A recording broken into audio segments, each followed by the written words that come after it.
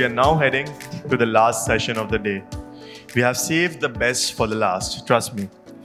The next session is about cloud, a technology that has touched one and all. India has been at the forefront of the digital revolution as it marches forward. Cloud maturity becomes an imperative for both government and enterprises. Having a holistic view of entire infrastructure, multi-stake collaboration, and building a team equipment equipped with cloud skills have become a must. However, the process has to become faster than expected. To touch upon technology modern- modernization, with cloud implementations, we have amongst us Kirti Patil, Joint President, IT and CTO, Kotak Life Insurance, Mr. Ram Kumar Raveendran, Head of Cloud and DevOps, HSBC India, Mr. Abhijit Singh, Chief Technology and Digital Officer, HDFC Limited, Mr. Ajay Patil, Head IT Infrastructure, HDB Financial Services. And to moderate this session, we have our very own Mr. E. Kumar Sharma, Deputy Editor, FE Digital. Let's welcome them. Thank you so much. The whole day we've been on Terra Firma, but talking of cloud. So hopefully, I think we will we will take it to another level. Hopefully, considering that we are talking of technological modernization with uh, cloud implementation, and the purpose here is actually to look in terms of designing a holistic approach. If I may begin by uh, first, first a brief introduction, if it's possible, uh, uh, a line or two on each, so that our audience actually gets to know each of you. If we can begin from uh, you. Good evening, everyone, and thank you for having me here. My name is Kirti Patil. I am the CTO for Kotak Life Insurance. Hi, good evening, all. This is Ram Kumar. Uh, you can call me Ram. Uh, I'm the head of cloud and DevOps for HSBC India. Thank you. Hi, I am Abhijit Singh. I am the uh, CTO and CDO for HDFC. Ajay Patil from HDBFS. I handle uh, IT infrastructure, security operations, enterprise architecture, PMO office, multiple things. Thanks. As you can see, we have the finest minds in this space, and I think it's it's uh, very nice that you've chosen time to be here with us. Uh, if we can begin by what what was discussing, I mean, we, we were a while ago talking about this. So uh, the point which I was also uh, talking to Mr. Ramkumar about was this uh, right uh, right cloud strategy, as they say, in a hybrid cloud environment uh, is it getting the kind of acceptance it should get or, or where, where do you see it actually and what's the uh, days ahead for it in your view kirti if you can begin? Uh, so before we talk about hybrid let me just talk about cloud. Uh, so cloud is here here to stay. Everybody has understood and accepted that uh, workloads will have to go to the cloud. And obviously hybrid cloud is also here to stay because we may not want to lock in with one cloud service provider. Uh, so cloud is an imperative. Uh, the journeys could be different. Some would have started now, some would have started some time ago. But, but it is an imperative, and it is an imperative because that will give uh, organizations uh, a competitive edge. Because some solutions really today are available only on the cloud so for getting a competitive edge, you will have to go to the cloud. Uh, if you want scalability, on-demand scale, you will have to go to the cloud.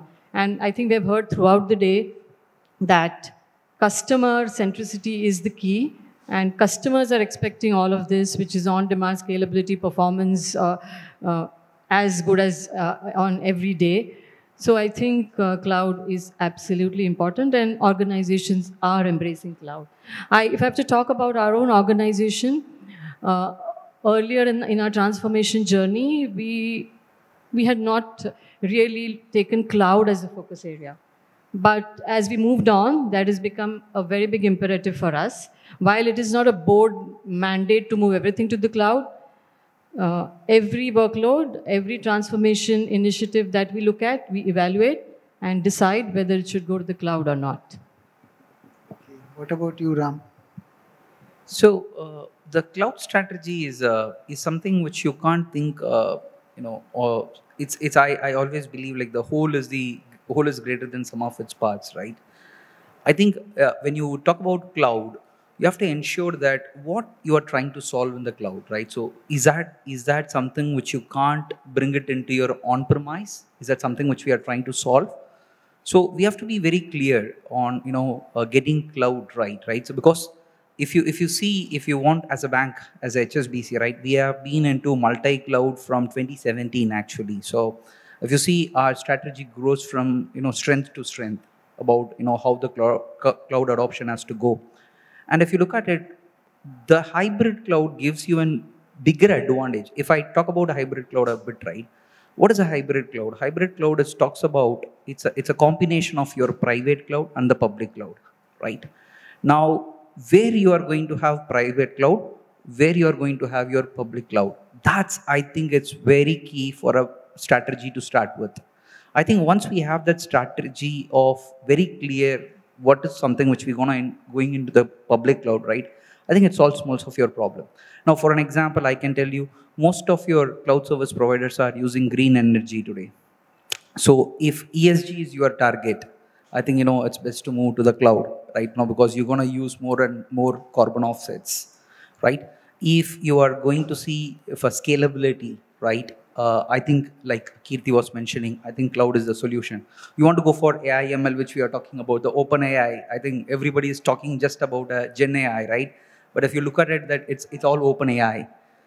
Where it is there, it's if you look at it, it's all Azure subscription today. So how are we gonna use that? So if you look at it, like you know, what you are trying to solve in cloud is gonna be the most important part in the cloud strategy, I believe right? And if you need to have a cloud a culture of experimentation where you want to prove your proof of concept or a proof of value, I think you can just go there, spin your environment, get it, tried it faster. If you are failing fast, that's good. Fail faster and then come back. Right? That's where I think you know your your cloud strategy. I think should revolve around you know what is your purpose and the vision. Thanks. So Abhijit, what is uh, your take on this? Since okay. you've heard the two and I think fairly important points. I think it's always difficult, you know, go uh, last or third or fourth, you know, in all of this because most of the points are covered. But I think, you know, for us, uh, what we're looking at uh, in, our organization is, see, we were a legacy company started in 1978 and uh, grown mostly around the customer experience part, where we felt that, you know, cloud really helps is uh, uh, in creating, you know, what we want to do is a composable architecture as we move forward. So there are things, you know, that we can innovate. There are things which other partners can innovate. Innovation doesn't need to be only, you know, something that we do. So cloud gives us, you know, that beautiful medium by which we can, you know, take on innovation from other partners. We can, you know, like, for example, a completely digital journey to make sure that uh, the home loan customers can actually do everything online is uh, working on one of our partners, you know, which we have invested in, we have worked with them. So it helps us, you know, bring collaboration, innovation, all of it together. I think the other important thing is it imposes a discipline on the IT people also, you know, because for all of us, we are very notorious uh, that, you know, we never upgrade uh, operating system, we'll never upgrade the infrastructure. We will say application team will say because of application infrastructure cannot be upgraded and vice versa. Here it imposes that discipline for you you know to be completely up to date taking uh, making use of the best opportunities that these technologies can give. So i think you know largely it is uh, uh, quite good. Uh, what we are also doing is regulatorily as well you know you need to look at what's your bcp planning etc so in a lot of those scenarios it really helps us so we've started to leverage the cloud we wouldn't say you know we are uh, leaders in the cloud and that space. But you know, a lot of our journeys, a lot of our apps, a lot of our uh, even you know uh, some of the operational work that we do is on cloud. Ajay, uh, your thoughts? Okay, uh, so Abhijit comes from a group company, uh, and he talks about legacy. When in the same group, I mean, we also carry some legacy, but uh, I think decision of I mean cloud hybrid cloud, that depends on what stage that organization is, right? So if something is probably green shoot, something like which is starting new, I mean, somebody wants to start a new NBFC, probably they will go all cloud, right? Hybrid cloud or hybrid infrastructure may not be a choice out there. Now, hybrid is like the way it has grown because people have migrated some of the loads or like some of the new technologies, new loads have come up on the cloud and hybrid is the reality as Kirti said, right? So, I mean, most of the organizations where they're solved will have a hybrid infrastructure that's given. I mean, nobody will be fully on cloud, fully on premise. Now, cloud decision, uh, what is the driver, right? I mean, he talked about multiple drivers. So people talk about like one of the driver is the cost, right? So if I, my experience, cost doesn't remain the driver. I mean, your capex might come down, but opex could go up. So over a period, your TCO increases or remains similar. So if you are going to cloud or adopting hybrid cloud, that has to be for some different reasons, which people talked about, like probably resiliency, uh, probably flexibility, right? Can you hold the mic closer to you? Yeah.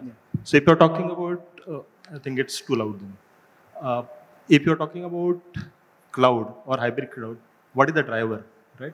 So technologically, hybrid is very much possible, right? There are so many gateways which are available. I mean, if I want to have a storage across two data centers, there is a storage gateway in between. I mean, it will give that. So technologically, there is no challenge. Look at what is the driver, and the driver will probably decide what adoption you will have. And on over, I mean, hybrid cloud is here to stay for longer. That's my view. Yeah. Uh, since Abhijit uh, mentioned this point about not being at the tail end, wanting to be actually in the lead when sharing thoughts or gyan, let me begin in an anti-clockwise direction. And if you could, Ajay, begin by, uh, we often hear, see, like for example, moving to cloud is not something like, you know, you pack a bag and then move there.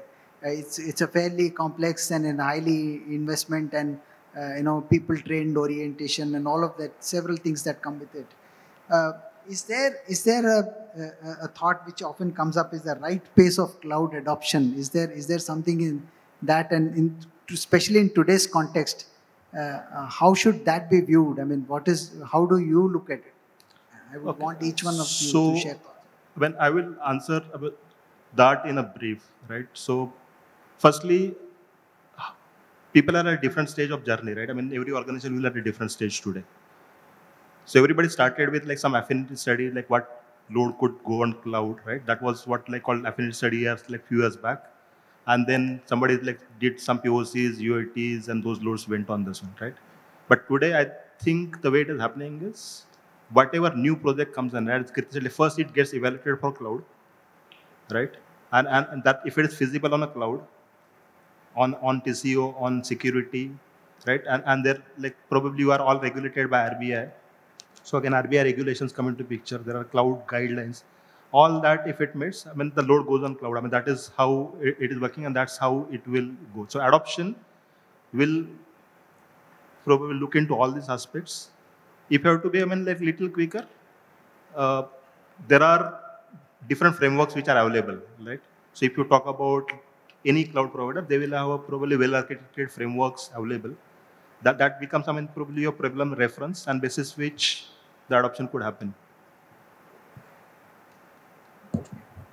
I think uh, uh, for us, you know, we've taken a playbook of, you know, how to move to cloud and uh, having done this in two, three organizations, what I realized is that um, first and foremost, you know, it should be very clear why are you doing cloud? You know, sometimes you always have this thing that uh, we've got mandated by the board or, you know, this the flashy new thing because of which cloud should be done. So uh, and one thing we forget is you know every CIO has a shelf life. Of course, in India, you know people are CIOs for very long, but uh, having worked globally, I've seen you know that CIOs also have a shelf life of ideas of you know execution that they can do. So what what we've done is you know we look at one a does this need any technologies that the cloud is providing to you? Is it is it really at that scale? Yeah. Uh, secondly, we'll put in you know that what's the business case. So let's say if you're going to do it, is it going to be net neutral compared to you know what you would do on prem uh, versus cloud? Yeah. Largely, uh, it may not come out to be net neutral. You may have other things that you have to put in agility, etc., that come in here. Uh, third thing is we get the CISO actually first onto the project, you know, rather than getting him at last. So the CISO is actually the first guy who comes in, who looks at, you know, what are the kind of security measures, etc., that need to be done does the cloud provide you all the security features out of the box? Or you know does it go with a higher subscription amount? Or do you need your organization policies uh, demand something else yeah? And as we move forward you know it's also about executing in time because many projects go on forever and you're turning capex into opex yeah? And as you start moving more into opex you know the cfo starts to get hit and he will come back and say, you know, that is not really working. So all those things are really important, you know, as you move into cloud adoption. I'm just curious, given the transition that you're going to make, and it's a matter of I think a fortnight or so when you will you will change your avatar as it were. So how does this this whole uh, discussion actually in your newer context? What what uh, what imperatives will it put, and what can you paint a picture in terms of how we will have to redefine in the new format? Putting me on a spot, but good. So I think uh, largely both companies are on a similar digital transformation journey. We are also on a transformation journey. The bank is also on a transformation journey, and uh, largely what we felt, you know, at the base, the principles are the same. So you know, uh, uh they have a larger uh, plate to cover. We have uh, a niche product, but you know, we do about 30% of the book with about 5,000 people, so the productivity uh, levels are very high. But on a principal level, you know, these same things also apply, uh, which we have seen. Somehow, you know, like HDB Financials and uh, HDFC Insurance, all of us somehow, you know, have maintained the similar way of working. And even when we were not one, there were a lot of con- uh, conversations that informally would happen with, within the CIOs, within the CISO. So there will be not much of a change, you know, in our thought process. It will be similar, and hopefully, two plus two will become more than four. Looking for something specific, but you were, as one RBI governor had once told me, it's good to be vague and accurate. and then he also added, rather than be precise and wrong. Ram, what is your thoughts in terms of you know? So uh, coming coming to the pace of cloud adoption, right? Like I think uh, they covered it well. I think its pace is not very important in cloud adoption. I think it's a momentum. It's what you are building, right? I think the momentum in cloud adoption is what it's it's very important. Like uh, Jay was saying, like uh, we should have Abhijit. Sorry, Abhijit was saying we should have CISO first. We should have a cyber resilience, you know, in place for us. We need to look at it how application migration and taking uh, place into the cloud so it's it's all about momentum. It's not about the pace per se, right? Two, I think we need to start thinking about when you adopt cloud, right? You have to maximize the potential of the cloud. For an example, there may be one CSP, your cloud service provider is very good at one thing, right? So go and you know kind of maximize them there, right? Go for the next cloud service provider for something else, right? So I think again, uh, the pace again, it's what very important here is the momentum of migrating apps by a very good, you know, clear thought process, and the process is clear there. Second, about what is the maximization of the potential of that, uh, you know, that particular cloud. I think the third comes your, you know, uh, then the people and other transformations will come in, right? Because if you have these two things clear, I think the people know that what needs to be done. I think that is because nobody of us will uh, take a decision yesterday that you know we will move into cloud and we will implement cloud implementation today so it is it is a time right it takes some time so i think the momentum is what adopting cloud is very important setting up the process understanding the cloud service providers and maximizing their potential. And when it comes to cost also right you have to understand you are like to you know you have a, probably want to buy in um, you know lots of AZs and the refrigerators and all that stuff. It's gonna cost you right? So you need to know how to use it in a in a right way. So that process will clarify you that uh, okay I I don't have a capex but my opex is gonna be there but how I'm gonna use it if it's gonna be a staff facing application can I switch it off after 8 p.m can I switch it on on the next day 8 7 a.m is that all makes you know lots of sense I was just talking outside as well uh, again, uh, cloud cannot be a, a, piece of a puzzle, right? It's actually a wholesome. You have to understand that cloud is a wholesome. When I was, and I keep was talking, you have to understand DevSecOps plus FinOps is going to be the cloud for you. You need to understand financial as well, right? Thought. Yeah, so you are, your question is about pace of cloud adoption, but I'm saying our objective is not to adopt the cloud our objective is really to solve a business problem. So first we need to identify what is the problem that we are wanting to solve and what is the pace at which we want to solve the business problem. Uh, now, let me just touch upon why, and, and I come from a traditional organization, a 22-year-old organization, so we were pretty much uh, uh, on-prem for the longest time. Uh, so me and most of us uh, here on the panel, would have a lot of workloads on-prem, and now there is something which is the cloud, which is which is going to we are, we are evaluating, right? So my point is, whenever we build solutions on-prem, we at that time there were two options with us, which is buy versus build. I'm saying it is similar here. In addition to the on-prem, you have an option of going to the cloud. That is established that this is the, only these are the parameters in which I'll decide to go to the cloud. And if the problem really requires going to the cloud, then I think we should start that journey and do the homework as everybody has said. So it's not about pace of adoption, it is pace of solving the business problem. Okay, uh, this is what I would say. Once we have done that, right, we've decided to go to the cloud, then of course the pace should come in, right? I have decided to go to the cloud, then I need to do it quickly. Not really that move everything to the cloud and have, have a race of who, who goes to the cloud first. That's well said, actually.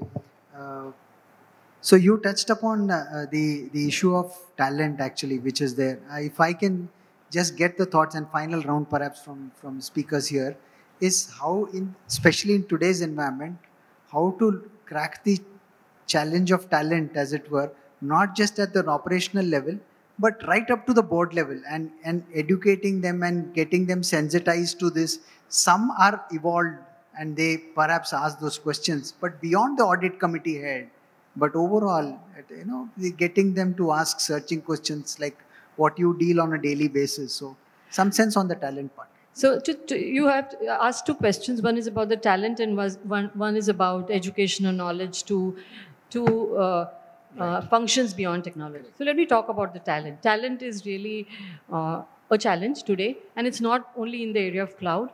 Uh, one, because uh, the demand is far, far too much than the supply.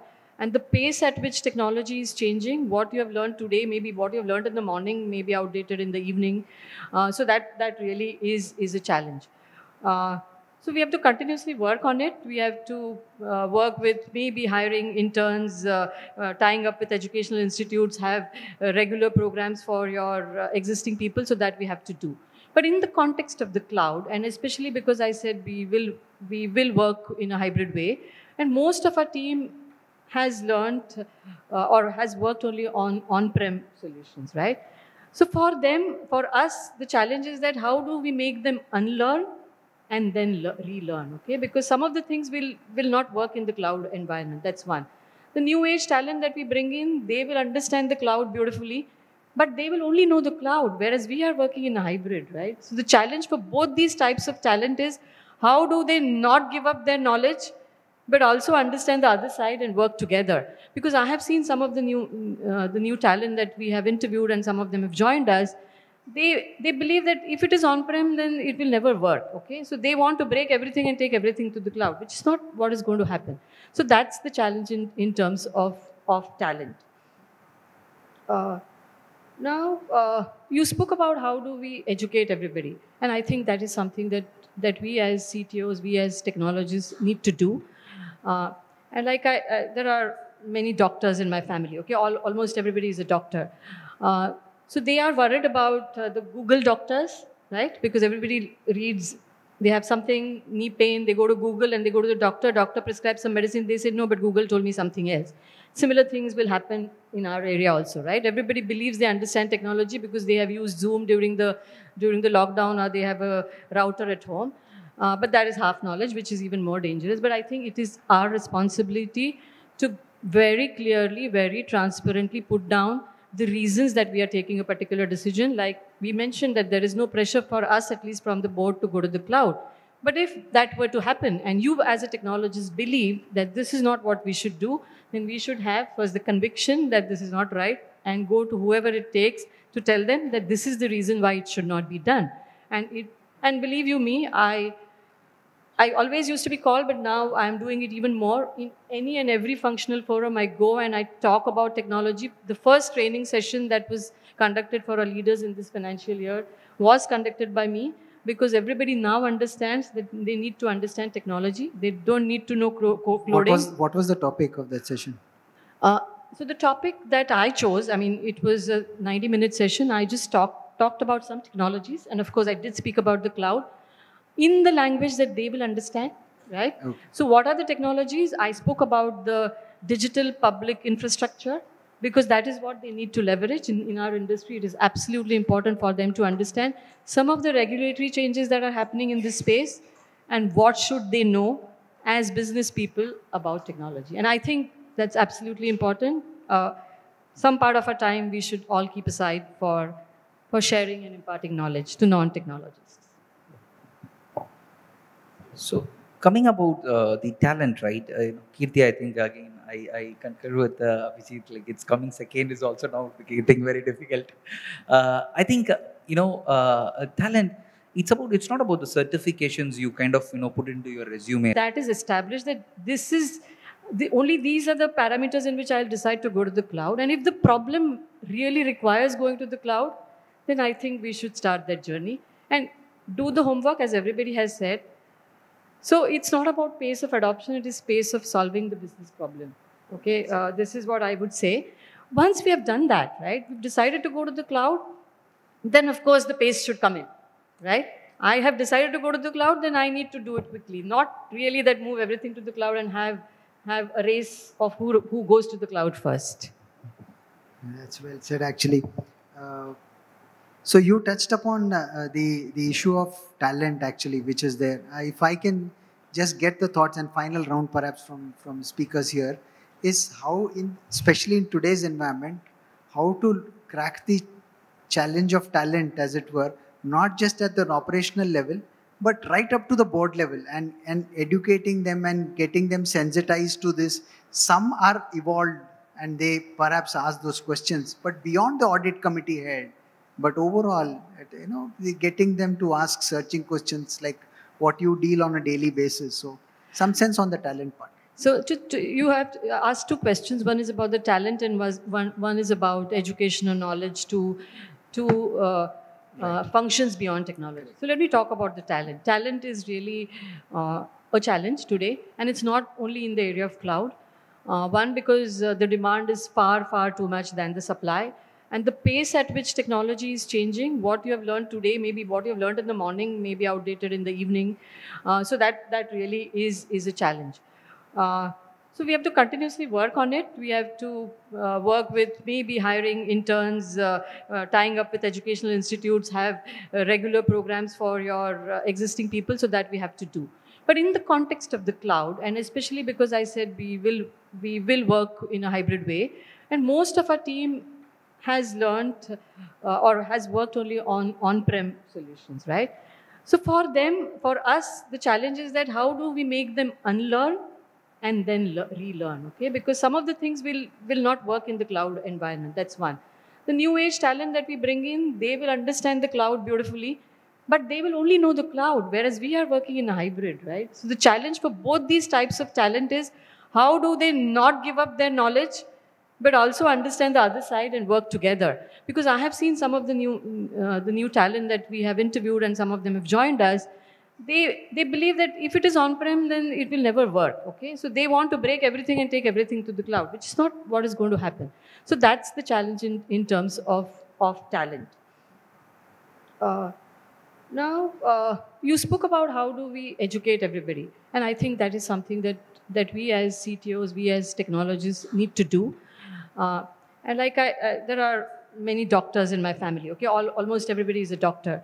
Uh, so they are worried about uh, the Google doctors, right? Because everybody reads, they have something, knee pain, they go to Google and they go to the doctor, doctor prescribes some medicine, they say, no, but Google told me something else. Similar things will happen in our area also, right? Everybody believes they understand technology because they have used Zoom during the, during the lockdown or they have a router at home. Uh, but that is half knowledge, which is even more dangerous. But I think it is our responsibility to very clearly, very transparently put down the reasons that we are taking a particular decision. Like we mentioned that there is no pressure for us, at least from the board, to go to the cloud. But if that were to happen, and you as a technologist believe that this is not what we should do, then we should have first the conviction that this is not right and go to whoever it takes to tell them that this is the reason why it should not be done. And it, and believe you me, I I always used to be called, but now I'm doing it even more. In any and every functional forum I go and I talk about technology. The first training session that was conducted for our leaders in this financial year was conducted by me because everybody now understands that they need to understand technology. They don't need to know clo- co- What coding. was what was the topic of that session? Uh, so the topic that I chose, I mean, it was a 90-minute session. I just talked talked about some technologies, and of course, I did speak about the cloud in the language that they will understand, right? Okay. So, what are the technologies? I spoke about the digital public infrastructure,